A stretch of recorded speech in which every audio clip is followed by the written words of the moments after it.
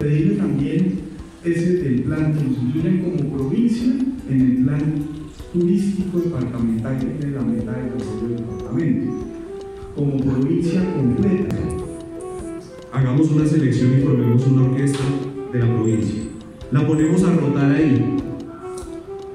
Con un trompetista de Vianí, un saxofonista de Guayabal, un pianista de Tulí, etcétera, etcétera, y armamos un combo que sea nuestro. Y que ese sea que abra todas nuestras festividades año tras año. Que esto no es un proyecto de un solo municipio, ni más faltaba. Este es un proyecto como el que desde el comienzo, cuando yo les hablé aquí, es de todas, es de todos nosotros y de una provincia. Que alguien que teníamos que iniciar ¿cierto? Teníamos que dar el primer paso y lo dimos. Y por eso estoy aquí, porque realmente nosotros con este proyecto podemos dar a conocer nuestro municipio. Ustedes, eh, digamos, lograron consolidar para mostrar lo importante y de nuestra región, del Magdalena Centro, y mostrarla al departamento y al país.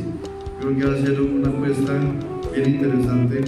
Es una gran eh, estrategia que va a dinamizar eh, la economía de, nuestro, de nuestro, nuestra provincia y que desde ya nos demanda, como lo decía nuestro alcalde Camilo, eh, iniciar ese trabajo mancomunado.